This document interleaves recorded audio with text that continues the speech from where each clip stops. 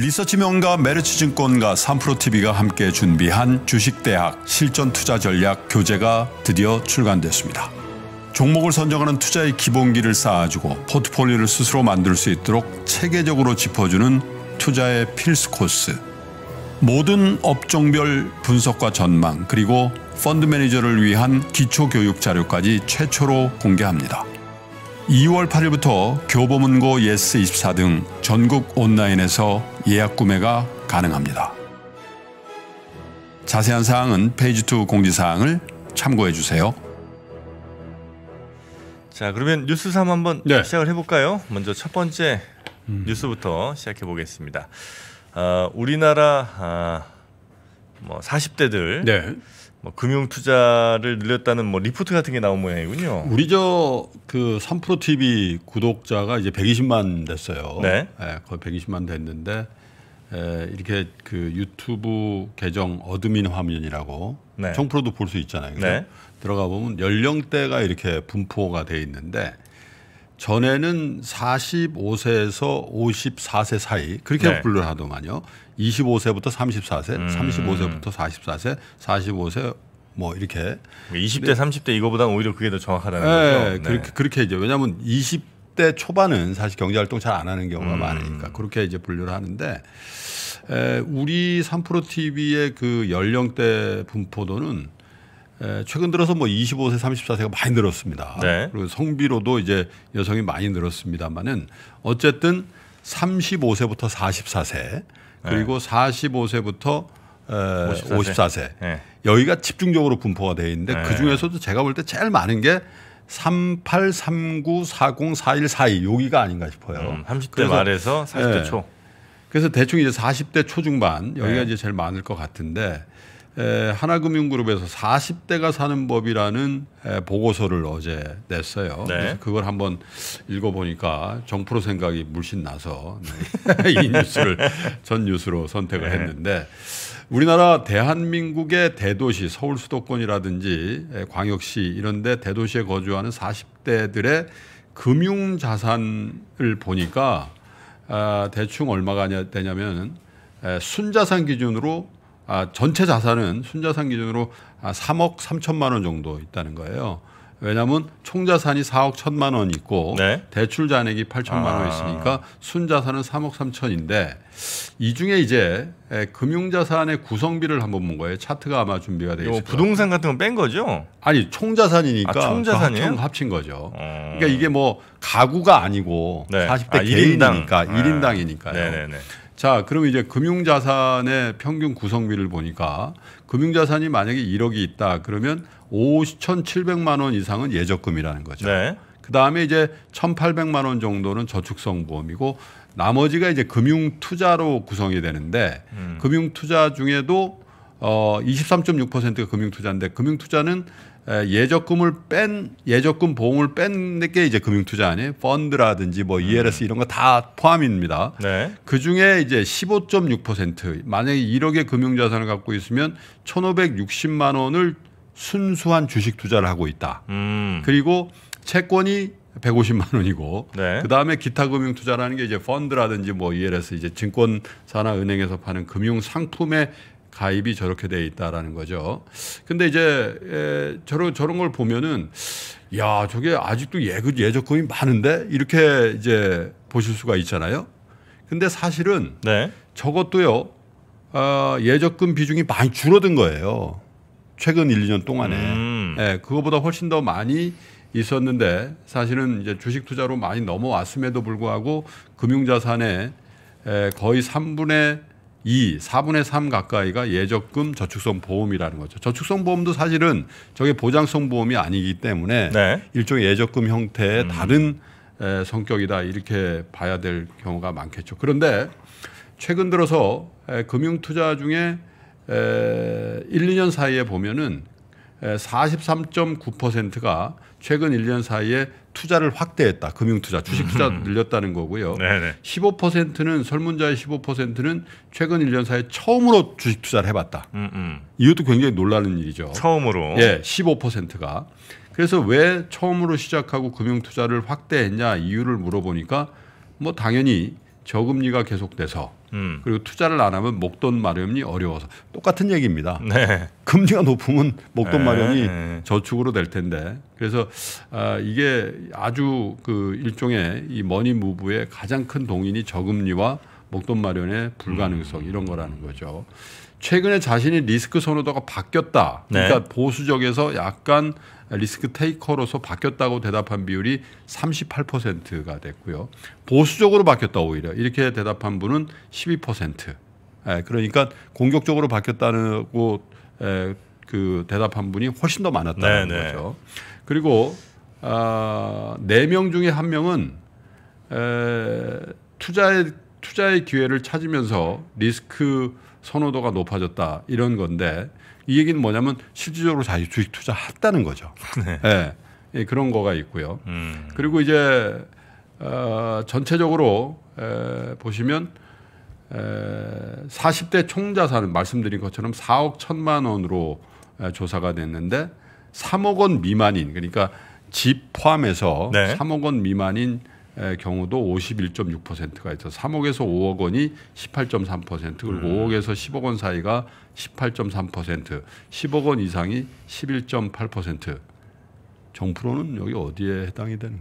저는 아시지 않습니까? 저는 예적금 거의 제로고요. 네. 네. 주식 몰빵. 몰빵이고 예. 그리고 나머지 빌라 몰빵이고. 없- 빌라는 무슨 몰빵이에요? 아, 빌라가 있잖아요. 몰빵. 네. 그래서 어쨌든 이 40대의 어떤 변화가 네. 이 40대라는 게요. 저도 이제 40대를 경험해 봅니다만은 사실 30대 말까지는 네. 예전에는 직장에서 옆부서 과장이나 나나 예? 네. 또 말년 대리인 내 승진이 좀 늦은 내 동기생이나 음. 자산의 차이가 거의 안 나요. 음. 근데 40대 들어가면서 엄청 차이 난다. 아. 뭐 근데 그게 이제 이런 거죠. 이 방향을 잘 틀면 네. 그게 이제 뭐 골프 예를 하면 우리가 드라이브를 딱 치면은 사실 아주 미세한 각도의 차이가 네. 결과 착지점은 큰- 네. 오비도 나고 뭐 해저드도 가고 페어웨이도 가고 그러듯이 네. 30대 초중반의 어떤 이 자산 구성의 어떤 이 좋은 각도, 좋은 방향성을 잡은 분들과 음. 그렇지 못한 분들의 차이가 40대 중후반 가면 엄청난 격차가 벌어진단 말이죠. 네, 네. 특별히 이제 에, 최근에 이제 여기 설문조사에도 나왔습니다만 저금리의 지속이라는 거는 뭔가 하지 않으면 이제 불을 일굴 수 없다는 아주 현실적인 에, 문제가 이제 우리한테 온 거잖아요. 음. 이 상황에서 이제 각도의 차이가 훨씬 더 많이 난단 말이죠. 네. 예, 그래서 에, 금리가 이렇게 높아져 높아 있는 상황이라는 건 사실 에, 자산 운용의 보수성을 유지하면서 리스크 테이크를 하지 않아도 그러니까 투자를 유보하더라도 자산 형성을 할 수 있는 에, 기본이 돼 있다라고 보는데 지금 같은 물론 최근 들어 금리가 조금 뜹니다만은 어쨌든 에, 기본적으로 수신금리 기준으로 1%가 채 안 되거나 그 어간이라면 네. 아마도 에, 투자의 방향성, 투자를 하고자 하는 사람들이 이렇게 늘고 있다라는 이 추동력이 네. 쉽사리 그 줄어들거나 다시 보수적으로 회귀하기는 좀 어렵지 않겠나 이런 생각을 에, 이번 조사를 통해서 하게 되는 것 같습니다. 그런데 아까 제가 가구가 아니라고 이 네. 개인이라고 말씀드렸기 때문에 야 이렇게밖에 안 되나 우리나라 40대가 이렇게 생각하실 수도 있는데 실제로요. 네. 실제로 일반적인 샐러리맨들 야 저 자산부채 다 까보자 크지 않아요 실질적으로. 아, 그렇겠죠. 네. 뭐, 그리고 이제 어, 집을 갖고 있는데 그 집 아유 그게 다 우리 집입니까? 은행 집입니다. 그럼요. 예. 이렇게 얘기하는 케이스들도 있고요. 그리고 사실 뭐 고가권 아파트가 우리 언론에는 다 그게 나와서 우리가 20억, 살고 있는 30억 집이 것 다. 고가권 아파트인 것 네. 같지만 그게 사실 서울 수도권의 일부 지역이거든요. 빼고 나면, 예, 네. 전국으로 가보면 사실은 예, 5억 미만의 집들도 많이 있죠. 아, 엄청 많아요. 네. 대전만 가도 뭐. 예, 또 여기 증인이 있잖아요. 예. 부천만 가도 예. 음. 2억 2억 6천에 안 팔려? 정, 예, 정프로 음. 부럽다고 집도 있다고 이러시는데 음. 아 그러니까 그 전세금 퉁치면 거의 전세- 자기 자산 한 3천만 원 되는 거예요. 3천쯤 되죠. 가져가십시오 3천에 제발 부탁입니다. 자 그러면 두 번째 아 이제 그만할게 그건. 예. 뭘요? 그 부처님 빌라 얘기. 팔릴 때까지 좀 해주세요. 고민해드릴게. 자두 번째 뉴스 아 드디어 이제 현대랑 포스코가 손을 잡는군요. 수소로 어, 묶이는 이제 형제가 되는 겁니까? 예, 어제 이제 정의선 회장하고 에, 포스코의 최종우 회장하고 네. 어, 수소 사업 협력에 관한 업무 협약 체결식을 했어요. 네. 체결식만 한 게 아니라 에, 현대가 이제 퓨얼셀 그 트럭 있잖아요. 왜 네네. 스위스로 수출했다는 거. 1,600대인가 왜 수출한 거 있잖아요. 음. 이제 그런 이 수소 트럭을 1,500대를 포스코에 납품을 하기로. 이게 뭐냐, 뭐에 쓰는 거냐면 네. 포스코의 포항 광양제철소에 보면 그 가시 가보시면 저는 한번 가봤습니다만 제철소 엄청 넓어요. 음. 거기에 이제 실어 나르기도 하고 막 그래야 되는데 네. 그 에, 포항 광양 제철소의 운용 차량 1,500대를 단계적으로 현대차 무공해 수소 전기차로 전환하기로 했다는 거예요. 네. 에, 사, 사, 사고 팔기로 했다는 거죠. 근데 이제 이게 되게 의미 있는 게 네. 사실은 그 니콜라 같은 것들도 뭐 이게 저 비탈길에서 굴렸다. 뭐 그래서 야, 이 실제로 이게 수소 트럭이 움직이냐. 근데 아, 그건 너무 코미디야 진짜 네? 비탈길은. 아니 그, 그, 그 진짜 그렇게 나, 나온 그러니까 거예요. 예, 그 너무 네. 코미디라고요. 근데 야, 근데 그거 어떻게 막았지 그러면? 브레이크는 해놨나 봐. 네. 근데 에, 스위스로 이제 수소 전기 대형 트럭 초도 물량을 실어 보낸 게 네. 에, 계약 규모가 1,600대 그 중에 일부를 이제 실어 보낸 거거든요. 네. 근데 이제 포스코 한 회사에서 구매를 하겠다라고 한 게 1,500대예요. 음. 네네. 스위스의 그 계약이 한 국가로 나간 게 1,600대고. 음. 그러니까 이게 야 이게 이런 식으로 하면 뭐 포스코 여기만 필요한 것도 아니고 현대 계열사에 또 현대 제철도 있잖아요. 그렇죠. 어 이거 되겠네 이런 생각을 이제 하는 거죠. 근데 이제 사실은 이게 1,500대, 1,600대도 중요하지만은 이제 수소 인프라라는 측면에서 보면은 우리가 제 기억이 맞다면은 에 2020년 에, 아니요 2019년 초에 우리가 네. 3프로 TV 처음 할때 네. 그때 수소 경제니 뭐 이런 게 굉장히 뜨거웠어요. 그래서 음. 그 봄에 저희가 어느 대학교 교수님하고 막 네. 논쟁을 했잖아요. 아 수소. 기억, 기억 안 나요? 수소 사기다라고 하는 분도 있었고. 네. 그래서 에, 수소차 이 권순희 기자가 수소차에 대한 차, 책까지 쓰고 막 그랬는데 네네네. 지금은 수소 생태계에 대해서 사기라고 하는 분들은 거의 사라진 것 같아요. 음. 실제로. 네네. 그런데 이제 진도가 안 나가는 이유가 뭐냐면 우리나라가 이제 수소 인프라를 가장 빨리 이제 추진하는 이제 나라 중에 하나거든요. 일본이랑. 음. 근데 그것도 현대차 그룹에서만 거의 하니까 네. 이게 정부가 어떤 형태로든지 보조금을 주든지 인프라 구성을 하든지 도와줘야 되거든요. 음. 근데 현대차 그룹만 내립다 해버리면은 네. 이게 좀 불편한 거예요. 음. 그렇지 않겠어요? 네 네. 아, 이게 뭐 현대차 그룹을 도와주는 거야? 이게 특혜야? 이럴 수도 있거든. 음. 그러니까 사실은 이제 생태계를 구축하려면 경쟁자들 혹은 생태계를 구성하는 어떤 여러 가지 업체들이 같이 들어와 줘야지 네. 이게 정부에서도 돕고 이렇게 음. 예, 지원을 하기가 편한데 예, 그런 일들이 이제 벌어지기 시작했다는 거죠. 포스코는 무슨 역할을 한다는 거예요? 아, 포스코도 사실은 이제 네. 에, 우리가 이제 포스코 하면 제철소만 생각하지만 네, 네. 그 제철에 관련된 생태계 중에 보면은 에, 수소를 생산할 수 있는 계열사들이라든지 이런 음. 업종군들이 있어요. 네, 네, 네. 예, 그래서 이제 그런 것들도 있고 또 수소 전기 트럭에 수소 트럭을 직접 사서 쓸 수 있는 그런 작업의 환경이 예, 포스코에 있는 음. 거죠. 그래서 예, 포스코라든지 또 지금 보면은 한화그룹이라든지 뭐 코롱그룹이라든지 GS라든지 SK그룹이라든지 이런 쪽에서 이제 우리도 수소합니다. 뭐 이런 어, 발표들이 계속 마- 나오고 있기 때문에 음. 네. 에, 투자의 관점에서도 보면 수소 인프라 최근 들어서도 보면 신재생 에너지 중에서도 중국도 그렇고요. 수소 관련 게 된게 적어도 2월 중에는 가장 좀 핫하거든요. 네네. 왜냐하면 이제 이게 아 어디서 치고 나간다 그럼 따라간다 이런 상황이 벌어지면은 그 생태계에 들어가는 핵심 소재라든지 부품이라든지 이런 것들에 대한 수요가 에, 는다라는 측면에서 네. 그리고 이제 조금 반가운 소식은 에, 장강 삼각주라고 에, 중국의 네. 에, 업체인데 에, 여기에 이제 상해 전력 등과 함께 수소 트럭 3,000기 보급에 MOU를 체결했다는 소식도 들어와 음, 있어서 에, 전기차와 함께 사실은 큰 의미에서 수소차도 전기차죠. 에, 그렇죠. 수소 연료 전지차. 연료 거죠. 전지차죠. 예. 그래서 이 수소차에 대한 에, 이벤트들이 에, 글로벌에도 그렇고 우리 내부적으로도 그렇고 에, 뉴스 플로가 좀 많이 생기고 있는 상황인데 음. 어제 에, 현대차 그룹과 포스코 그룹 간의 수소 사업 협력에 대한 업무 체결식과 에, 1,500대 분량의 에, 주문과 생산에 관련된 이벤트가 있었다 이런 소식이 들어와 있습니다. 네. 자, 이제 세 번째 뉴스까지 바로 전해드리도록 하겠습니다. 아, 뭐 적자가 굉장히 에, 이어지는 이른바 뭐 관리 종목이라든지 상장 폐지 위기의 종목들 코스닥에만 한 30여 곳이 네. 있군요, 지금. 그래서 이게 매년 3, 4월 되면은 네. 상장 폐지 이벤트가 이제 발생하기 때문에 아. 특별히 뭐 아, 그때쯤 상장 폐지를 시켜요? 상장 폐지 실질 심사 왜냐하면 이제 회계법인이 감사가 이제 3월 아하, 4월 아하. 그, 그때 이제 마무리가 되거든요. 네. 전년도에 그러면 이제 그걸 가지고 아 이제 저 거래소에서 음. 야 니네 4년 동안 적자 났는데 올해 또 적자야?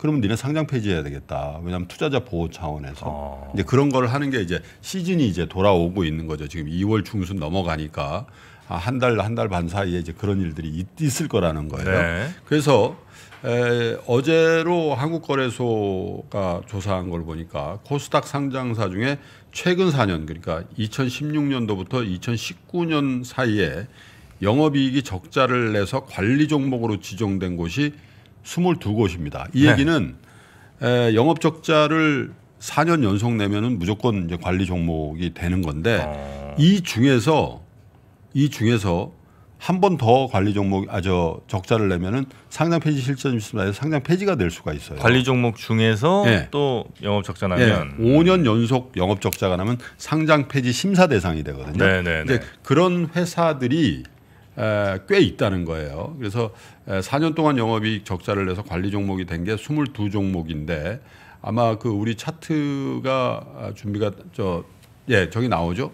에, 저게 이제 공식적으로 발표된 4년 연속 적자 기업이니까 여러분들 중에서 이런 걸 무신경하게 왜냐하면 이제 에, 회계연도 감사 회계 감사 그 전에는 사실은 거래도 정상적으로 되고 하니까 그냥 무신경하게 갖고 계실 수가 있는데 저게 이제 매년 3, 4월 되면은 실제로 상장 폐지 실질 심사에 들어갈 가능성이 있는 기업들이니까 네. 혹시 이런 것들을 저 생각을 못 하시고 갖고 계시거나 그러면 그걸 알고 갖고 계셔야 된다. 갖고 계시다 하더라도 그죠? 그래서 에저요 방송을 못 보신 분들이라도 에, 혹시 시간이 되시면 인터넷 포털에 들어가시면 네. 4년 연속 적자 기업 리스트 다 나와 있으니까 그걸 꼭 보시고 그 중에서도 이 4년 연속 적자 기업 중에서도 5년 연속 적자 기업이면 상장 폐지될 가능성이 높은데 네. 아직 그 온기 실적은 다 나오진 않았지만 분기 실적은 나왔을 거 아닙니까? 네, 네. 그래서 작년도 2020년도에 3, 4분기까지 누적 적자가 있으면 4, 4분기에 갑자기 무슨 역전시키지 않는 이상 적자일 가능성이 많이 있잖아요. 음. 예, 거기는 17군데가 지금 있다는 거예요. 그러니까 예, 이거 그래서 유력한 곳. 유력한다죠. 네. 그래서 이 그 외에도 여러 가지 이제 에, 제가 시간 관계상 다 말씀을 못 드립니다만은 상장 폐지 혹은 관리 종목 지정 사유가 되는 그 재무적인 그 회계감사 기준이 있어요. 음. 네, 그런 부분에 대해서 여러분들이 꼼꼼하게 적어도 여러분들이 갖고 계시는 포트의 편입 종목들이 해당되는지에 대해서만큼이라도 한번 점검해 보시고 네. 특별히 지금 신규 편입하시는 종목을 사실 때는 지금 뜩 샀는데 어 이런 거네 그러면 이제 불안하잖아요. 그러니까 에, 그런 부분은 필터링을 해서 꼭 음. 투자를 하셨으면 좋겠습니다. 사실은 저희가 에, 작년 이맘때 에, 재작년 말부터 계속해서 강의를 여러분께 소개해드렸던 사경인 회계사의 아, 네, 네. 에, 재무제표 특강에 네. 가장 기본적인 게 에, 그 사경인 회계사가 가장 강조한 게 다른 건 몰라도 제 강의를. 듣고 해서 이렇게 해서 이것만 피해 가셔도 최소한. 예. 그 가격이 20만 원인가 근데 20만 원치는 합니다. 그래서 예, 그것도 기회가 되시면 한번 네. 들어보시고 어쨌든 에, 시즌이 다가오니까 네. 여러분 특별히 좀 에, 관심을 갖고 상장 폐지 및 관리 종목 사유에 해당되는지에 대해서 음. 공부도 좀 하시고 이런 보도를 통해서 좀 필터링을 하셨으면 좋겠습니다. 네. 자, 다행히 저는 없는 것 같습니다. 그리고 저도 없네요. 아 그래요? 자 그럼 뉴스 3요 정도로 어, 정리를 하고요. 바로 우리 또 어, 교보증권의 박병창 부장님 만나러 가야 되니까 잠시 전한 말씀만 짧게 듣고 와서 아, 글로벌 해외 시장 이야기 한번 들어보도록 하겠습니다. 산업을 이해하고 기업을 이해해야 돈의 흐름이 보입니다. 리서치 명가 메리츠증권과 3프로TV가 함께 야심차게 준비한 3프로TV 주식대학 겨울학기 실전 투자 특강. 남보다 한 발 앞서서 유망한 산업을 판단하고 1등 종목을 선정하는 투자의 기본기를 다지는 시간이 될 겁니다. 국내 최고의 애널리스트 21명과 함께 떠나는 2021년 성공 투자를 위한 단 하나의 필수 코스. 지금 바로 신청하세요. 자세한 사항은 페이지 2 공지사항을 확인하세요.